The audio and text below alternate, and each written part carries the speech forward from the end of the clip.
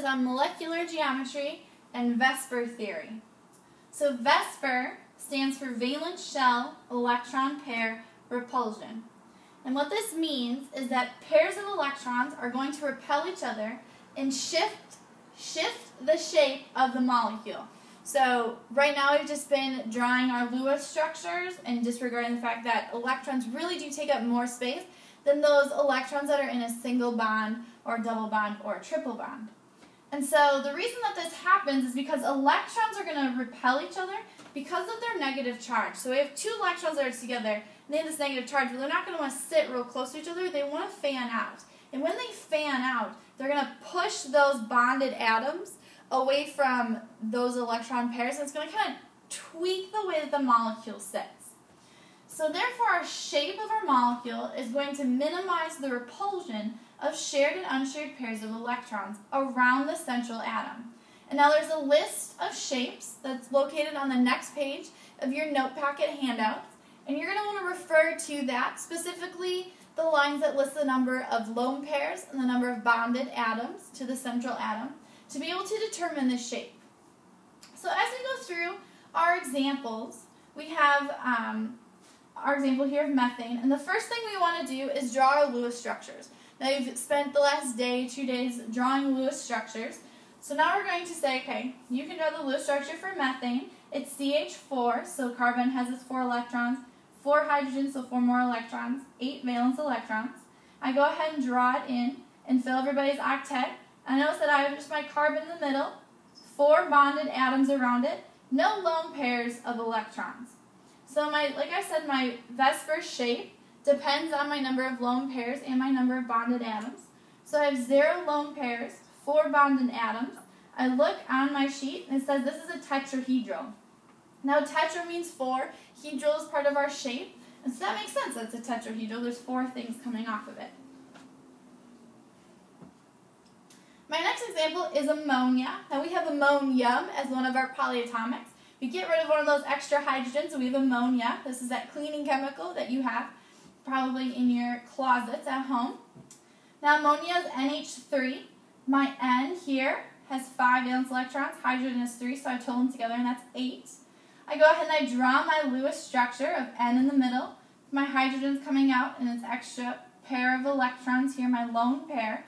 Now this lone pair of electrons, according to my VSEPR theory, these two electrons are going to take up more space than the single bond of my nitrogen to my hydrogen.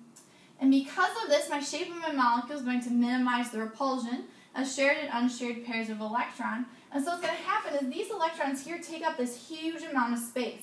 And because of that, they're going to push these hydrogens down, and they're going to shift them down, so it becomes kind of like a, like a um, triangle base. Here are these electrons at the top, and when it does that, and I've written this incorrectly here, but when it does this, we now have our one lone pair of electrons here. We have three bonded atoms on it. This becomes the shape of a trigonal pyramidal.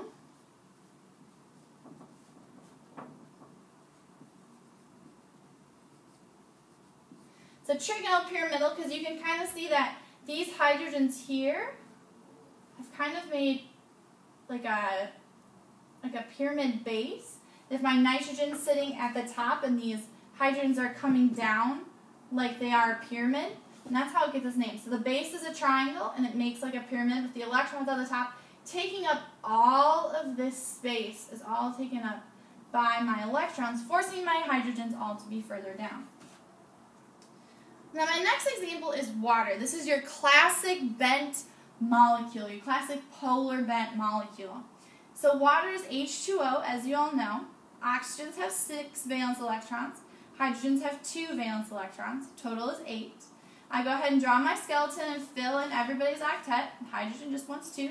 Oxygen has its eight. Hydrogen wants two. And then also I have two lone pairs of electrons. My lone pair of electrons here, and my lone pair of electrons here.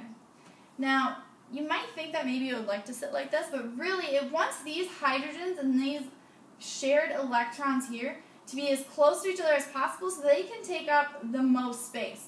So right now you can kind of see these pairs of electrons are taking up about 50% of that space if you look at the 360 degree region around my oxygen molecule. But they want to take up more because they can really push these paired, um, these shared electrons closer together. And so what they do is they push these hydrogens as close together as possible so these electrons here take up about 75% of the molecule. So it really takes up about this much for this guy.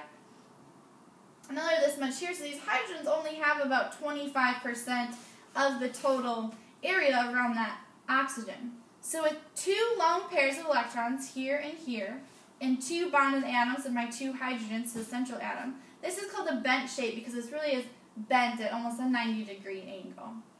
And so we're going to go through more examples in class. We'll end up doing a lab on this as well where we make our different molecules. But go ahead and practice the next couple of examples that's in your handout, in your note handout here. And we'll go over them for our bell work uh, tomorrow at the beginning of class to see how you did. You always want to reference back to that sheet. Now you won't have it come test day, but by going through and starting to picture and see what these molecules look like, you'll be able to identify what the shape is.